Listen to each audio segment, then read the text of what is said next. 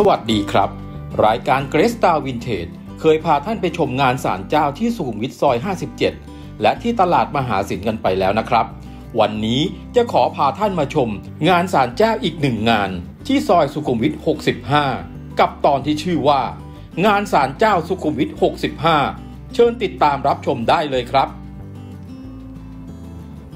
สวัสดีครับคุณผู้ชมครับ กลับมาพบกันอีกครั้งกับรายการ Great Star Vintage นะครับ รายการที่จะพูดคุยเกี่ยวกับเรื่องราวของของเก่าของโบราณของสะสม รวมถึงเรื่องเล่าและตำนานต่างๆนะครับ ทุกๆ คืนวันศุกร์เวลาประมาณสักสองทุ่ม เราจะกลับมาพูดคุยกันอย่างนี้นะครับ และในวันนี้นะครับก็จะเป็นตอนที่ 3 เกี่ยวกับเรื่องของหนังกลางแปลงในงานสันเจ้านะครับ หลังจากตอนแรกผมนำเสนอเกี่ยวกับงานสันเจ้าที่ซอยอสุขุมวิท 57 นะครับ ตอนที่ 2 ก็เป็นงานสันเจ้าที่ตลาดมหาศิลป์แล้ววันนี้เป็นตอนที่ 3 เกี่ยวกับ งานสันเจ้าที่ซอยชัยพฤกษ์นะครับ สุขุมวิทซอย 65 ที่นี่ก็มีประวัติการ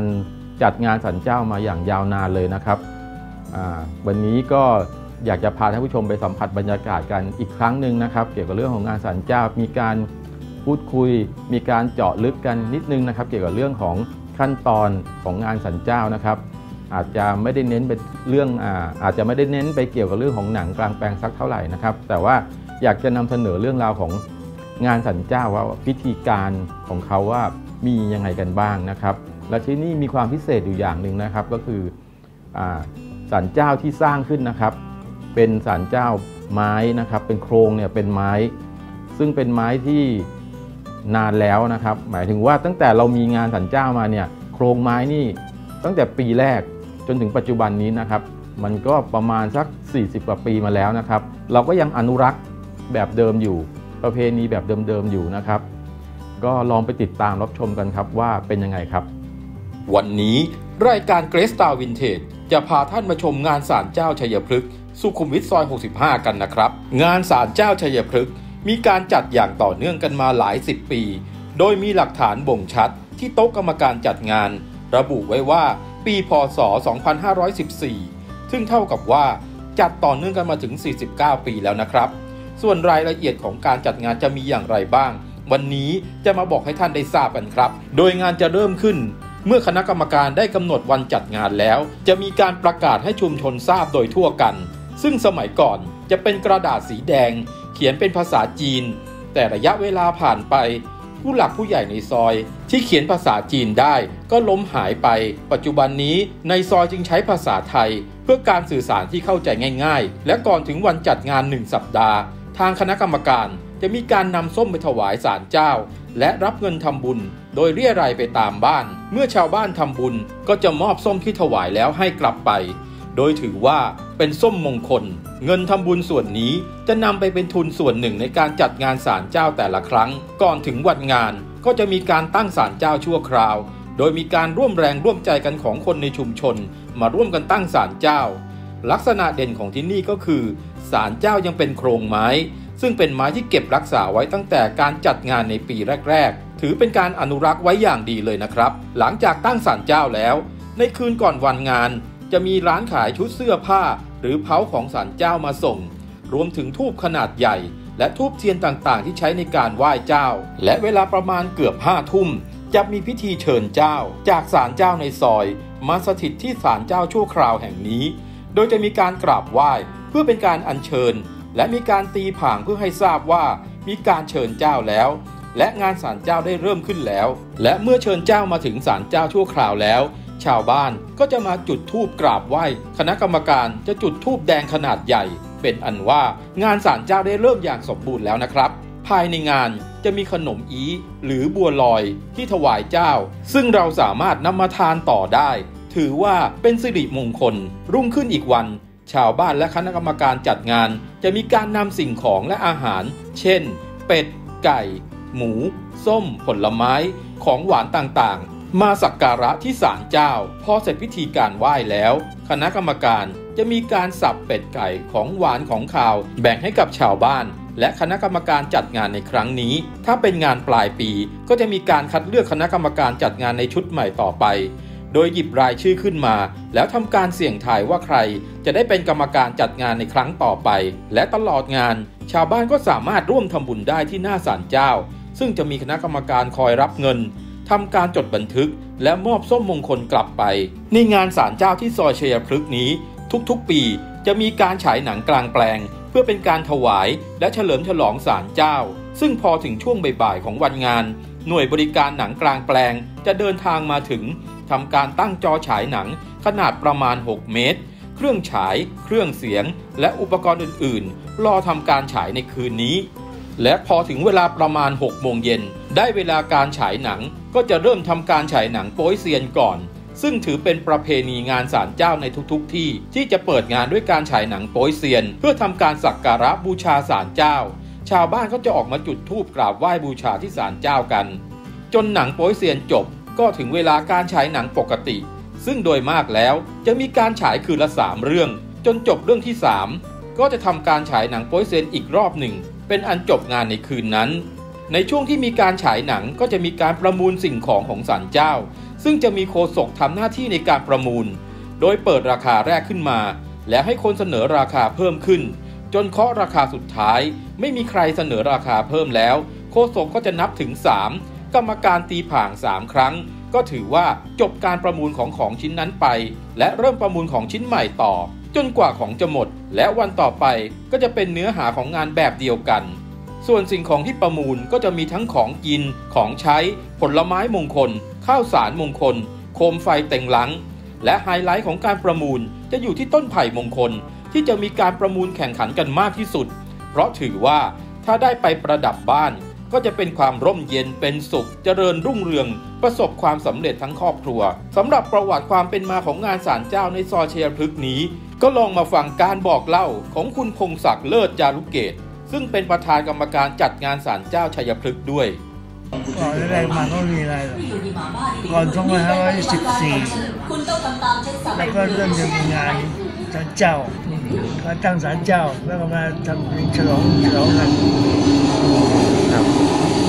ครับวันนี้ก็หลายหลายหลายหลายสิบปีแล้วทำฉลองเมื่อปี 2514ตอนนี้ก็เป็นเท่าไหร่เนี่ยสี่2562 สี่สิบแปดปีได้มั้งครับสี่สิบแปดปี48ปีอืมครับ แล้วก็ทำมาทุกปีมีหนังเป็นมาเรื่อยๆครับอืมแล้วเคยมีนอกจากหนังแบบมีงิ้วมีอะไรเราเคยมีลิเก แล้วก็มีการเล่นลิเกฉลองคืนหนึ่งครับอ๋อแล้วเคยครับแล้วอย่างเวลาเราเลือกเถาหนังอะครับ ที่ที่จะแปะเลือกเถาหนังโยนไม้โยนอะไรอย่างนี้ต้องเป็นยังไงบ้างอะครับอ๋อโยนโยนติ้วคือโยนที่มีเราหากรรมการเพราะตั้งแต่พวกเรามีกรรมการถาวรอยู่ประมาณสิบสิบสิบคน แล้วก็จะต้องเพิ่มอีกสองคน ก็ถึงเวลามีงานก็ต้องมาเสี่ยงเสี่ยงให้ เสียงปืนพวกเนี้ยครับ ต้องมาต้องคว่ำหงายสองทีแล้วก็คว่ำอีกทีหนึ่งถึงจะเป็นถึงจะสำเร็จอ๋อ ต้องคว่ำกับหงายหนึ่งคว่ำหงายครั้งหนึ่งสองครั้ง ครับ แล้วก็คว่ำอีกครั้งหนึ่งแล้วก็อุ๊นอนเซ็งที่อึ้งครับผมอืถึงมจะได้เป็นได้ได้เป็นกรรมการ ครับผมปีหนึ่งก็แค่สองคนนะทั้งหมดทั้งสิบสองคน ครับอืม แล้วใครเป็นคนริเริ่มที่ทำงานสันเจ้านี้ขึ้นก็มา มีอยู่สามสี่คนแหละแล้วก็มาตั้งสอนเจ้าอะไรอย่างนี้เลยแล้วก็มีหนังใช่ครั้งแรกก็มีหนังคืนเดียวเอง ครับ ต่อมาก็มีสามคืนบ้างหลายปี ตอนนี้ก็อยู่เพียงสองคืนเองอืมมีต้นปีกับปลายปี แล้วเราก็มีการทำบุญปีใหม่ ครับแล้วก็ยังมีไหว้วิญญาณไร้ญาติเดือนครับ เจ็ดอะครับครับ สมัยก่อนนี่มันต่อกันนี่ก็ประมาณสาม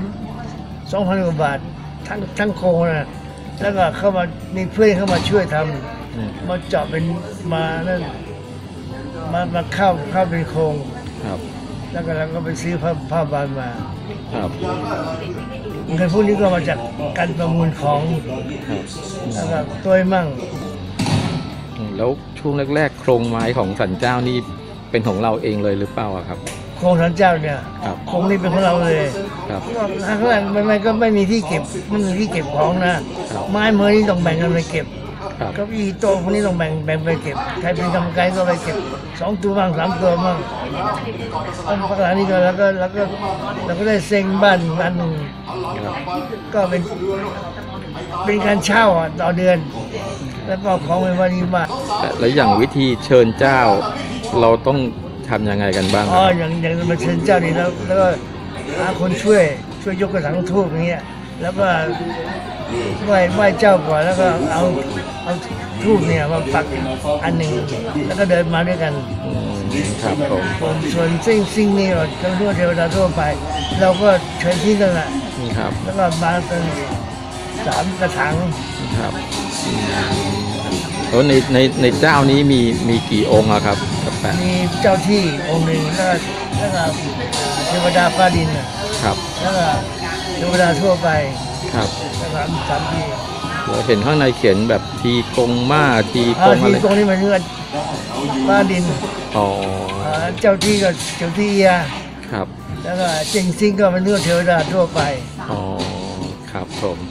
นับว่ามีประวัติงานอันยาวนานเลยนะครับ หลายท่านอาจสงสัยว่างานศาลเจ้าที่จัดขึ้นมานั้น เอาเงินทุนมาจากไหน การจัดงานศาลเจ้าแต่ละครั้งนั้น ได้เงินทุนจากการทำบุญทั้งตามบ้าน และที่หน้าศาลเจ้า อีกส่วนหนึ่งจากคณะกรรมการ รวมถึงการประมูลของศาลเจ้าด้วย และรายได้นี้ก็ได้นำไปพัฒนาชุมชนอีก อาทิการเพิ่มแสงสว่างภายในซอย การลอกท่อระบายน้ำการปรับปรุงพื้นถนนภายในซอย การติดกล้องวงจรปิด รวมถึง เครื่องดับเพลิงต่างๆ ตอนนี้ลองมาฟังคุณชัย ผู้ที่ทำหน้าที่เป็นโฆษกในการประมูลของศาลเจ้า และเป็นคณะกรรมการจัดงานด้วยนะครับ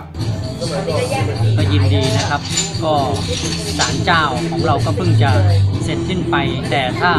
ใครอยากมาชมของเราก็ซอยสุนิพุก5นะครับ ที่เรายังจัดกันอยู่ก็จะมีประมาณต้นต้นต้นต้นปีนะฮะคิดว่าจะมีครั้งหนึ่งนะครับถ้า ท่านใดสนใจก็มาชมนะครับหนังกลางแปลงที่ยังเหลืออยู่ที่ยังให้ท่านนะฮะได้ได้ดูได้ชมกันนะครับลูกหลานของท่านนะครับที่ไม่เคยดูอะไรก็มาดูที่นี่ได้นะครับครับครับผม แล้วก็วันนี้นะครับก็คือเรื่องราวของงานศาลเจ้าชัยพฤกษ์นะครับ ก็หลังจากที่ไปพูดคุยไปเจาะลึกกันเกี่ยวกับเรื่องของงานศาลเจ้านะครับ ก็อาจจะมีเรื่องของหนังกลางแปลงเข้ามานิดนึงนะครับ จากเดิมนะที่นี่ก็เคยเป็น ระบบฟิล์มมาก่อนนะครับ แล้วก็หลังๆก็มาปรับไปตามยุคสมัยนะครับ ก็เป็นเรื่องของระบบดิจิทัลขึ้นมานะครับ งานสันเจ้าชัยพฤกษ์นี่ก็มีปีละ 2 ครั้งนะครับ มีตอนต้นปีช่วงตรุษจีนนะครับ ก็จะมี 1 ครั้ง แล้วก็มาปลายปีก็ประมาณสักปีใหม่เนี่ยจะมีอีก 1 ครั้งนะครับ แล้วก็ขอขอบคุณนะครับคุณพงศักดิ์เลิศจารุเกตนะครับ ที่กรุณามาเล่าเรื่องราวเกี่ยวกับ งานสันเจ้าให้ฟังนะครับ รวมถึงคุณชัยนะครับ แล้วก็ขอขอบคุณชาวบ้าน พี่ๆน้องๆ ชาวชัยพฤกษ์ทุกๆ ท่านนะครับ รวมถึงบริการสุขตาภาพยนตร์ด้วยนะครับ รวมถึงขอขอบคุณนะครับพี่แอดนิติวิทานินสุรวุฒินะครับ จากเว็บไซต์ People Scene นะครับ พี่วิวัฒน์ที่กรุณาช่วยเผยแพร่รายการนี้นะครับ ขอบคุณกระดานไว้บอร์ด K&N ด้วยนะครับ แล้วก็ขอขอบคุณบริษัท g r e s t a r Digital ผู้ผลิตรายการนี้นะครับ ฝากกดไลค์กดแชร์นะครับ ที่ Facebook Fanpage g r e s t a r ที่สุดของความบันเทิง YouTube Channel นะครับ Great Star Official นะครับ อย่าลืมกดกระดิ่งด้วยนะครับ เพื่ออเป็นการติดตามนะครับ จะได้ไม่พลาดรายการดีๆ ของทาง Great Star นะครับ วันนี้ผมและทีมงานขอลาท่านผู้ชมไปก่อน พบกันใหม่สัปดาห์หน้าครับ ขอบคุณครับ สวัสดีครับ วันสุดท้ายของงาน หนังเรื่องสุดท้ายจบลง และปิดด้วยการฉายหนังโป๊ยเซียน ก็ถือว่าเป็นอันจบงาน จอหนังก็จะทำการเก็บของและอุปกรณ์ต่างๆ กลับ คณะกรรมการจะทำการเผาชุดเผา หรือชุดที่ทำจากกระดาษจนหมดทุกชุด และทำการเชิญเจ้ากลับสู่ศาลประจำซอย ก็เป็นอันเสร็จพิธี รุ่งขึ้นอีกวันชาวบ้านก็จะร่วมแรงร่วมใจกันจัดเก็บศาลเจ้าเข้าที่ และเก็บกวาดทำความสะอาดให้กับทุกอย่างอยู่ในสภาพเดิม งานศาลเจ้าถือเป็นประเพณีเก่าแก่ที่แต่ละที่ชุมชน ยึดถือและปฏิบัติสืบต่อกันมา จากรุ่นสู่รุ่น เราสังเกตง่าย ๆว่า ที่ไหนมีงานศาลเจ้า ซึ่งก็จะมีหนังกลางแปลงหรืออาจจะเป็นงิ้วด้วย ก็จะมีผ้าแดง ที่เป็นภาษาจีนผูกไว้ที่หน้าปากซอย เพื่อบอกกล่าวให้รู้ว่าที่นี่มีงานสันเจ้า ปัจจุบันหลาย ๆ ชุมชนก็ถูกกลายสภาพเป็นอาคารพาณิชย์ เป็นที่พักอาศัย หรืออาจจะกลายเป็นห้างสรรพสินค้า